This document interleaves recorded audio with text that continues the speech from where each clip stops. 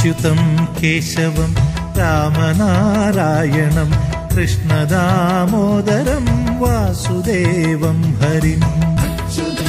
श्रीधरं माधवं गोपिकावल्लभं जानकीनायकं रामचन्द्रं भजेशवं सत्यभामाधवं माधवं श्रीधरं राधिकाराधितम्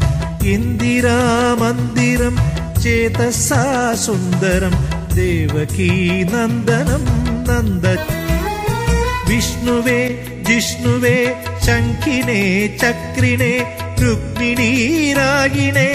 जानकी जानये वल्लवी वल्लभायार्चितायात्मने कंसविध्वंसिने वंशिने ते नमः। कृष्ण गोविन्द हे रामनारायण श्रीपते वासुदेवाजित श्रीनिधे अच्युतानन्द हे माधवाधोक्षज द्वारकानायक द्रौपदी रक्षक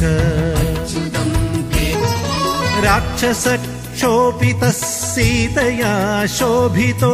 दण्डकारण्यभू पुण्यता कारण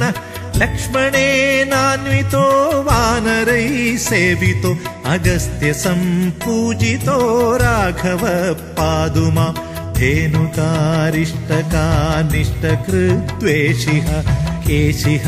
कंसहृद्वंशिका वादक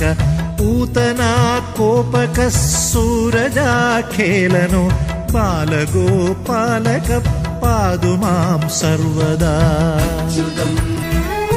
विद्यदुद्योतवत् प्रस्फुरद्वाससं प्रावडं बोधवत् प्रोल्लसद्विग्रहं वन्यया बालया शोभितोरस्थलं लोहिताङ्घ्रिद्वयं वारिजाक्षं भजे कुञ्चितैः कुन्तलैर्भ्राजमानाननं रत्नमौलिं लसत्कुण्डलं गण्डयो हारकेयूरकं कङ्कणं प्रोज्वलं किङ्किणी मञ्जुळं श्यामलं तं भजे।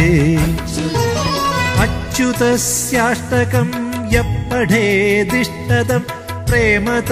प्रत्युहं पूरुषसस्पृहं वृत्ततः सुन्दरं कर्तृविश्वम्भरस्तस्य वश्यो हरिर्जायते सत्वरम् अच्युतं केशवं रामनारायणं कृष्णदामोदरं वासुदेवं हरि श्रीधरं माधवं गोपिकावल्लभं जानकीनायकं रामचन्द्रं भजे